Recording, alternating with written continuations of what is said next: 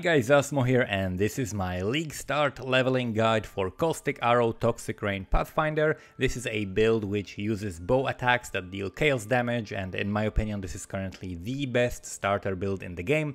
It is very rare to find a build that has all of these characteristics. Extremely fast clear speed, easy bossing, good survivability, able to do all map mods without any adjustment, without exceptions, has great quality of life and is easy and comfortable to play, works great as a league starter with zero budget, is hardcore and solo self-found viable, can be leveled with the same skill from the very beginning of the game until maps and scales well into the late game, reaching millions of DPS if you want to invest in it. I recommend this build to anyone who is new to PoE or simply wants the most well-rounded league starter capable of doing all content. This is going to be part 1 of the guide which covers leveling in great detail. This video will guide you through leveling your character from level 1 until maps in an efficient and quick way. You don't need any leveling uniques, currency or gems. This will be a fully solo self-found fresh start. In the description you will find the link to the Path of Building community fork version of the program which we use to plan out the passive skill tree and the POB for this build. There are multiple versions of the skill tree uh, which you will be able to follow while leveling. There are also notes for all the skill gem setups during this guide. I will not be focusing much on the passives because it is all shown in the POB and I'll mention only just the most notable breakpoints as we go. So, let's get started. Naturally, you wanna pick a ranger and after killing Hillock, grab Caustic Arrow from Tarkleigh and look for the following. Green, green, green and green, green, red linked. So you want a 3 link with all green or, and also all green and one red. Movement speed boots and three socketed items with green and red sockets. Apart from the three links, you're going to need three green sockets and two red sockets for your skill gems. And your setup at the start will be a caustic arrow linked with pierce and a burning arrow for extra single target damage. Go first to the submerged passage, grab the waypoint and go to the tidal island to kill the Hailrake. Open up with Caustic Arrow and while the green toxic ground is dealing damage, spam some burning arrows for extra damage. Make sure to refresh the Caustic Arrow as it expires to try and keep both dots up, you'll basically double your damage. Then grab Puncture, Dash, Quicksilver Flask, Mirage Archer and also buy Steel Skin from Nessa. Uh, check the vendor again for the gear with the right sockets and also for movement speed boots. Uh, you can type NN in the search to highlight movement speed boots very quickly.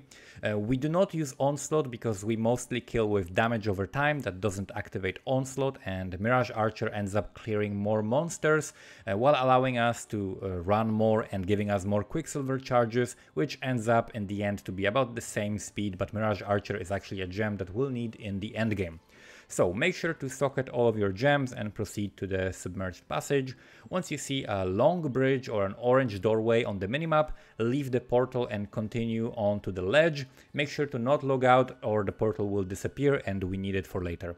Sockets are like one of the most important things to focus on early on. You will need to check the vendors whenever you're in town. They reset every time you level up. And it is very helpful to have a, like a custom loot filter that will highlight and notify you whenever you drop the right sockets on the right items. I have made a ranger bow leveling loot filter which I'm using in this run and you can see it. It's also available as an option for Patreon supporters. You'll find the link to it in the description if you're interested.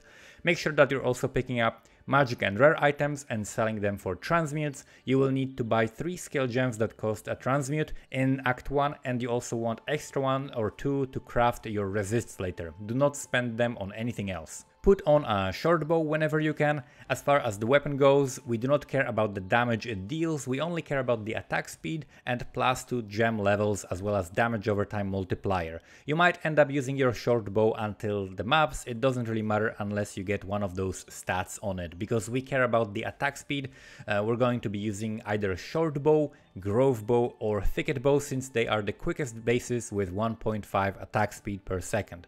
Um, if you find an early alchemy or an essence, I like using it on an item that will stick with me for a while and has a chance of rolling something useful. Usually I use it on a 3 linked pair of boots, which can give me movement speed, or like in this case on a 3 linked short bow that will boost my early DPS against Brutus. Once you pick up a Primal Spirit node, you can socket your Steel Skin and put it on the left click. It will periodically cast itself automatically, making you more tanky. Take the prison waypoint and go back to town and then through the portal that we left back to submerged. Kill the crab boss using the rotation of caustic arrow, puncture and two or three burning arrows. Rotating those three skills and making sure all three dots are always up will boost your damage by a lot. Afterwards, you can grab Void Manipulation from Nessa and put it with your Caustic Arrow instead of Pierce. If you have some spare green linked sockets, you can put Pierce with Puncture or Burning Arrow. That will allow you to hit bosses a little bit easier without those pesky uh, skeletons getting in the way and blocking bosses from getting hit by it. It is very optional though, you don't need that. Uh, kill Brutus with the rotation of your 3 attacks and pick up Smoke Mine and Vitality. I recommend using Smoke Mine instead of Dash for now. It is worth getting used to the Smoke Mine skill because it is an amazing time saver, it gives you a movement speed boost. Whenever you can pick up some junk weapons with green sockets and put them in your secondary weapon set, you can level dash in those offhand weapons until we start using it again in Act 6. Make sure to turn on Vitality, this aura will make you very tanky and is borderline broken, you just need to make sure that you're using it, do not skip that, it is extremely important. Uh, at this point you should also start looking for more sockets in your gear in preparation for Act 2, keep an eye out for an extra green and an extra blue socket because that's what we're gonna need. In the ship's graveyard zone, grab the waypoint first and then look for the ship graveyard cave, pick up the Flame and skip, skip the Sea Witch boss, continue to the Cavern of Wrath and use the waypoint there to go back to town. This is where your second 3-link, the green, green, red, is going to be needed. If you don't have it, just use an item with green and red linked together and try to get the green, green, red 3-link as soon as you can. Pick up Toxic Rain from Nessa as your reward, buy Ballista Totem support as well as Void Manipulation. You will need two transmutations for them. Now your setup should be Caustic Arrow, Void Manipulation, Mirage Archer, and then Toxic Rain, Void Manipulation, Ballista Totem support, then uh, Puncture, Burning Arrow, and also Smoke Mine, Vitality, and Steel Skin. Make sure to put all of your skills on attack without move. This is very important especially for ballista totem support and smoke mine. Do it for all of the attack skills as well. Go ahead and obliterate Fairgraves. If you don't have two sapphire rings yet, you can sell an iron ring and a blue skill gem. They cost a single scroll of wisdom uh, for a cold res ring at any vendor. If you have your hideout unlocked and you are level 12, you can also go ahead and spend a couple of transmutes to put cold res on your gear, you can simply put a white item on your bench and use the resistance craft which will make it a magic item of craft. And with two sapphire rings and a cold res craft on your gear you can easily get about 70% cold res which makes the Merveil fight about 10 times easier. With that setup we have, we simply put down 3 ballistas next to Merveil, drop a caustic arrow on her and keep up the puncture plus burning arrow debuffs the ballistas will continuously deal damage while we rotate the three dots and if you have the proper setup and use it correctly, the fight will be over very very quickly. In Act 1 we needed transmutes to buy our skill gems and in Act 2 we're going to need alterations. You get them by selling identified rare and magic items, so prioritize identifying rares, especially boots or other pieces of gear that you can potentially use yourself. Uh, Act 2 can be a little confusing, so I'll be showing the order which I like to follow on any character that kills all of the bandits, which is what we will be doing here. Um, first, we go to the old fields. If you see the entrance to the den, you can leave a portal next to it and continue to the crossroads waypoint. Go back to town from that waypoint, back through your portal, portal and into the den, kill the white beast and exit to the character selection to go back to town without using a portal scroll. Uh, get your second Quicksilver and take the waypoint to the crossroads again. Then go to the top left to the Chambers of Sins and if you have a spare Topaz ring, Lightning Res will be useful soon, so make sure to equip that if you have it. Make sure to keep checking the vendors, you're going to need one green and one blue socket soon. After killing Fidelitas, pick up a Blood Rage as your reward and buy Skitterbots from Yeena. Uh, next we will go through the riverways, make sure to grab the waypoint there and continue to the western forest. You can use Blood Rage whenever you want, the Vitality Aura will sustain your health through the degen easily and killing monsters will grant you Frenzy charges, which will give you 12% more damage. As you run through the zone and kill monsters, the Blood Rage buff gets refreshed, so just remember to press it at the beginning of each zone. I personally forget it more often than not, but it's just my ADHD brain, you should do it pretty much in every zone. Uh, make sure the skitterbots are on, uh, they will also give you more damage on the enemies they shock and they will give you some extra slow on the monsters they touch. In Western Forest, follow the road until you find the waypoint. And if the waypoint is on the right side of the road, go right. If it's on the left, then go left. And that is the side that you will find Alira on. Kill her and continue south until the end of the road kill the blackguards, open the way forward, and then go up on the opposite side of the road than you came from. The Weaver's chambers are across the map from Alira. Uh, doing all of this in this order allows us to clear the zone in one go and log out at the end without wasting any portals or backtracking. Kill Weaver, it should be very easy, just make sure to keep ballistas up, they'll take care of the ads, log back to town and pick up vicious projectiles as your reward, and then buy an extra one from Yeena. Put vicious projectiles instead of Mirage Archer in your Caustic Arrow, and another vicious proj instead of Void Manipulation in your Toxic Rain, and level both of the gems you replaced in your offhand because you'll need them later.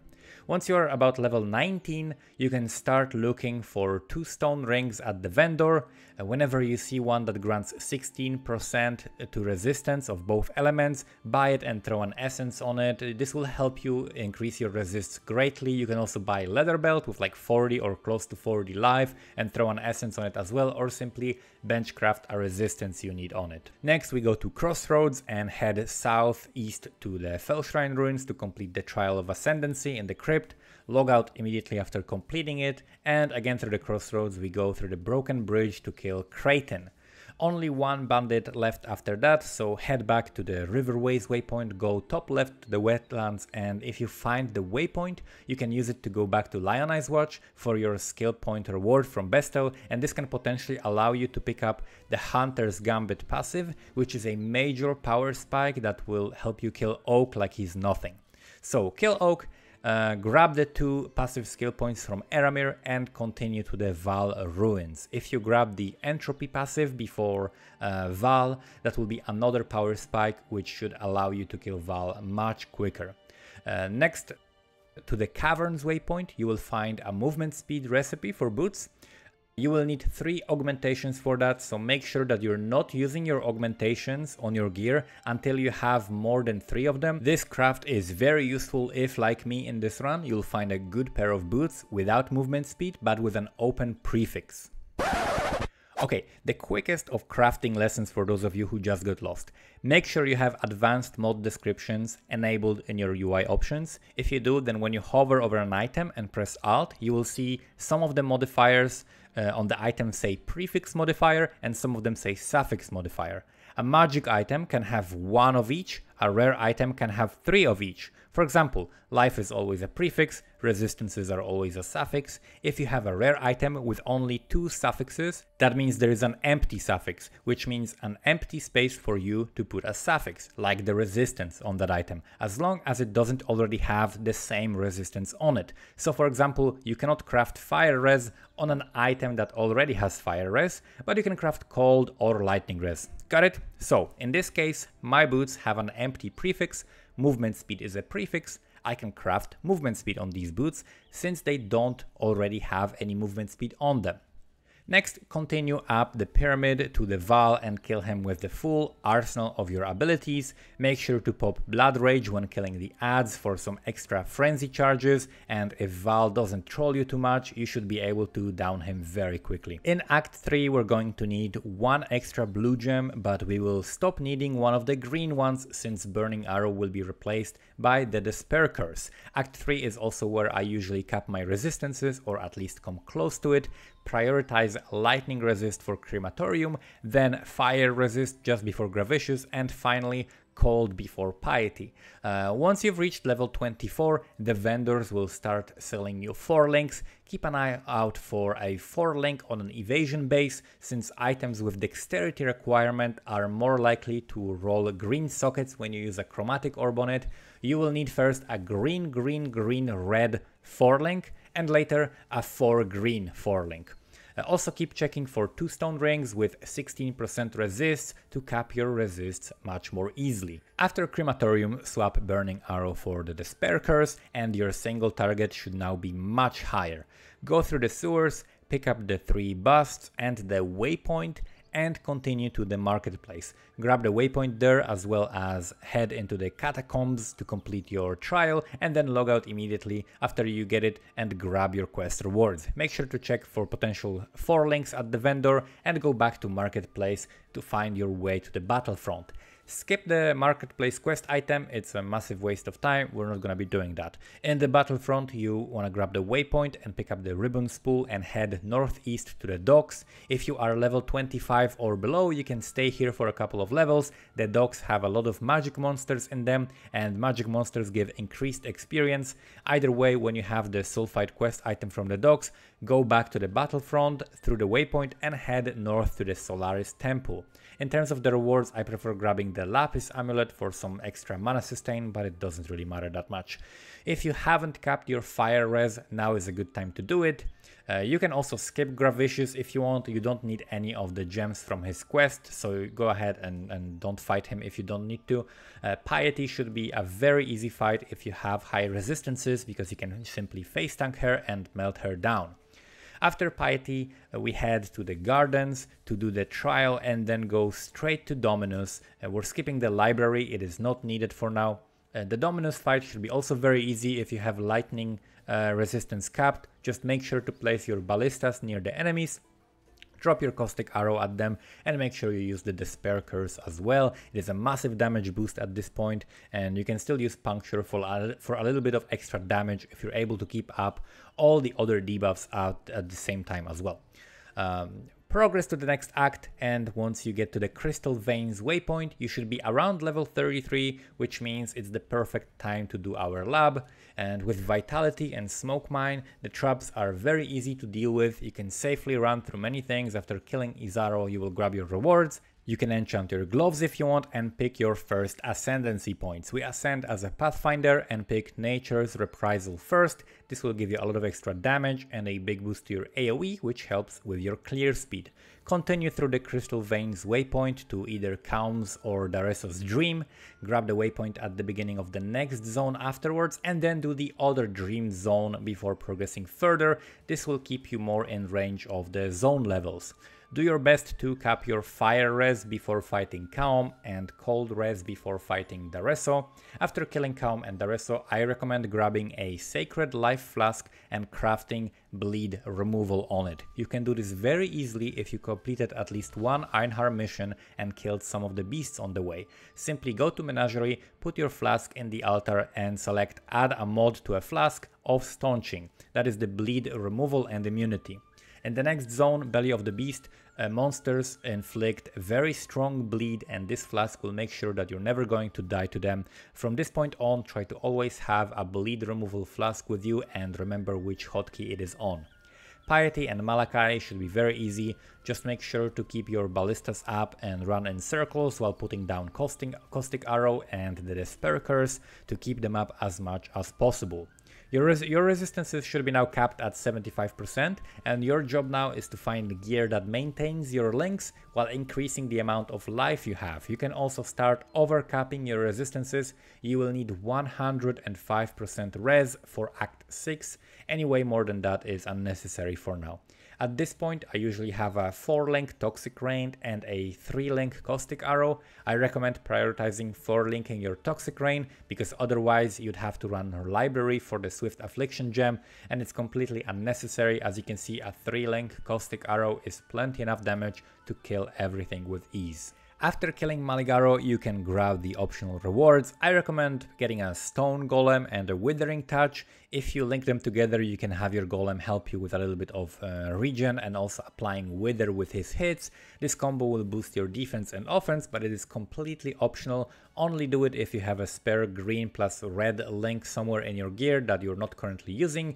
I did not bother altering my sockets for it in this run since the damage and survivability felt incredible anyway in Act 5 after killing uh, Casticus or whatever he's called, the guy who drops his balls. Take the waypoint in the Oriath square and grab the silver flask and try to keep it up while running as much as you can. It will greatly increase your clear speed. This is also the time that you should be picking up acrobatics. The monsters in this act hit really hard and the extra dodge will make you much more tanky.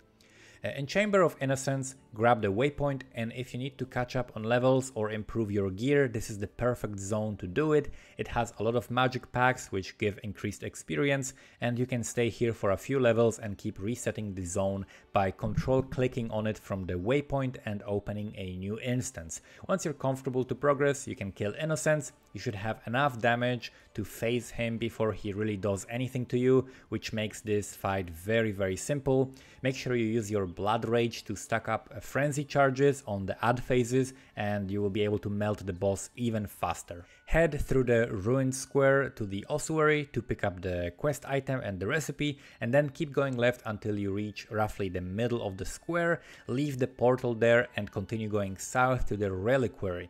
Uh, circle around uh, the reliquary picking up all the quest items and head back to the waypoint in that zone, go back to town and uh, pick up all of your rewards and then back through the portal that you left which will bring you very close to the cathedral rooftop entrance. You can temporarily allocate a couple of skill points into some extra life for the Kitava fight, but after that you will want to respec them and grab the Charisma passive, since after Kitava we will need to use some extra auras in our setup. Focus on dodging Kitava's abilities and keeping your dots up whenever it's safe to use your skills, if you focus on dodging, you should be pretty safe and uh, this fight is not that difficult because we deal a lot of damage without having to attack that much. The first thing you should do in Act 6 is to make sure that your elemental resists are capped. Uh, then we're going to do the Lilly's quest and pick up some extra gems. From here we'll need Malevolence, Flesh and Stone, Second Wind and Swift Affliction. Your setup should now be Toxic Rain with Ballista support, Vicious Proj and Void Manipulation, and then Caustic Arrow with Vicious Proj, Void Manipulation and Swift Affliction.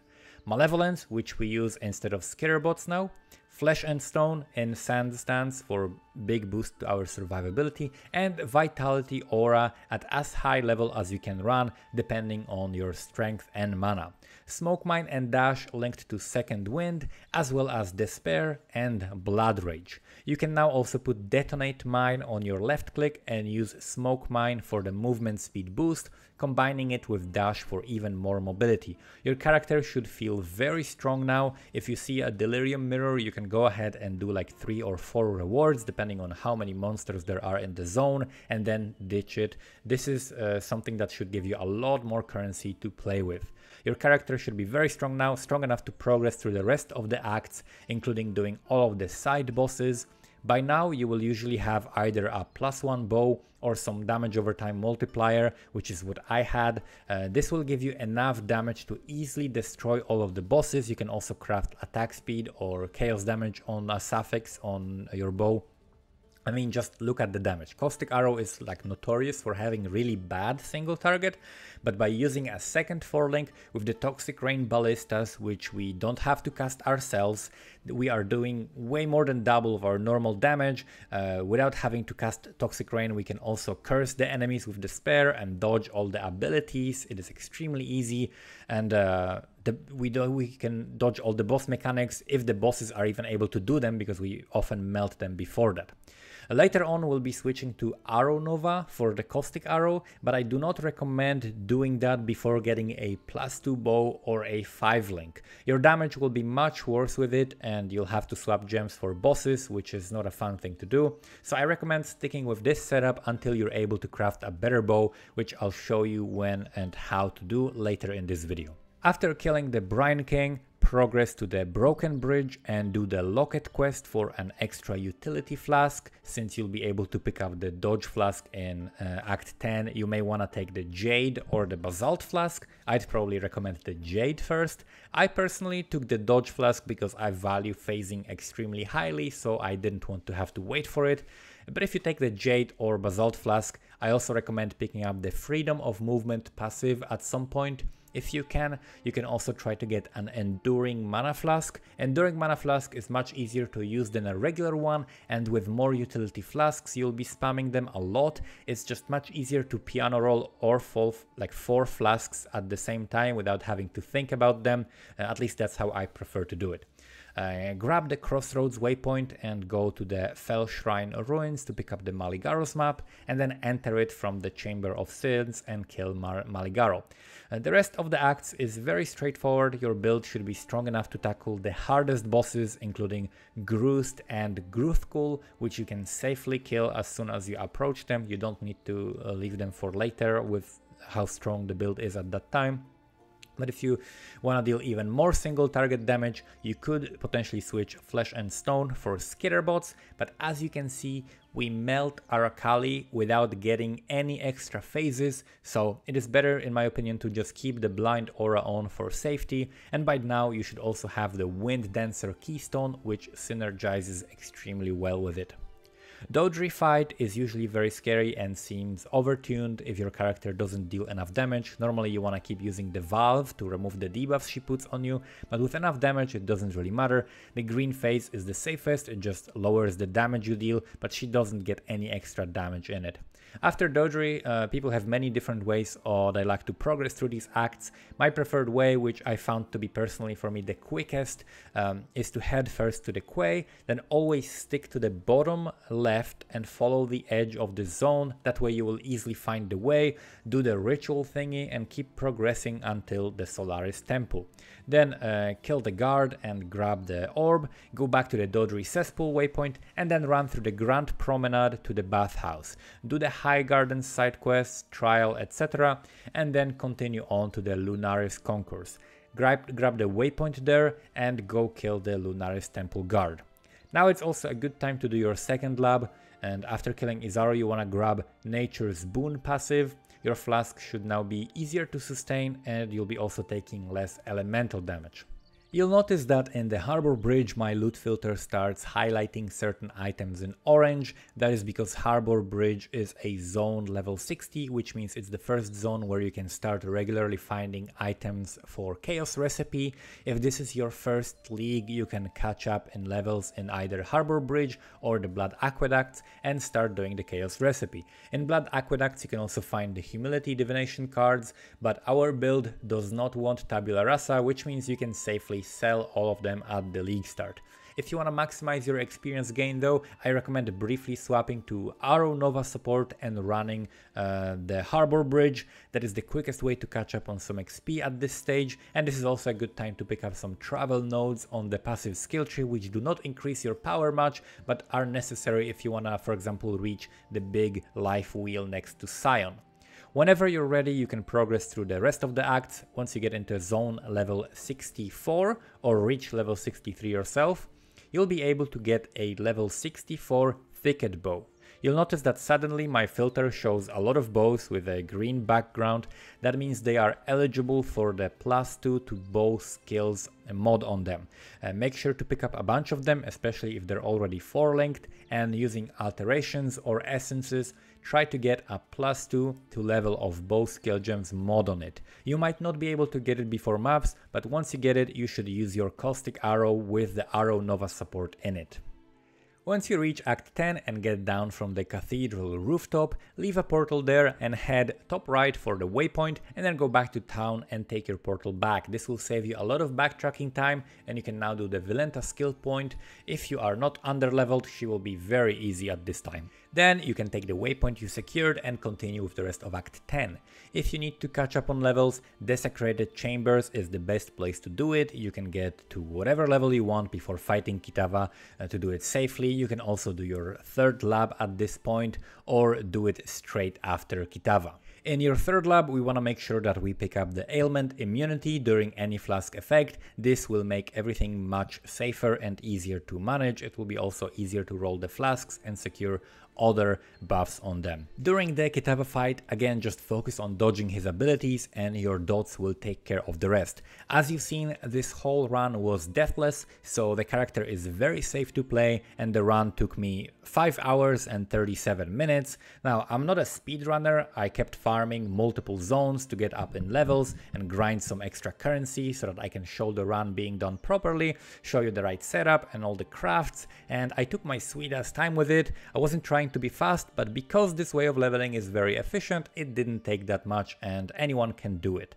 Now I want to quickly show some of the early mapping with a bow you can very easily craft. If you get a plus 2 to socketed bow gems and slap some attack speed or chaos damage multiplier on it, you're going to be able to run Arrow Nova and still deal pretty good damage. This is the same character you just saw me killing Kitava with, plus that bow. Uh, it clears maps very quickly and it is great to start with. Now this is another character which I leveled in solo self-found hardcore league called SSF HC Viable with a much worse bow, just a plus one to socketed gems and as you can see this is also zooming through the map as you can see, there is nothing special, just like a plus one bow and a five link that I found in Act 10 and used some alterations on it. As you grab more gear, levels and currency, you'll eventually want to swap to Toxic Rain as your main skill. In Trade League, I recommend buying Quill Rain and 5 linking it. That's the point at which you can switch to Toxic Rain and ditch the Ballista setup. But this is just a leveling guide. Next, I'll be working on a build guide for the late game version of this character, but hopefully this guide will help you reach maps much quicker and easier. It took a lot of work and planning. I've been testing a lot of different setups for weeks to figure out the optimal way of leveling it. And I think Caustic Arrow Toxic Rain character is a fantastic starter build, especially for the new Atlas expansion because of the ability to run all map mods and progress your Atlas quicker. You can check out my stream at twitch TV slash Asmodeus stream and if you're interested in getting my loot filter, it is available as an option for Patreon supporters. All the links are in the description. Thank you for watching and see you next time.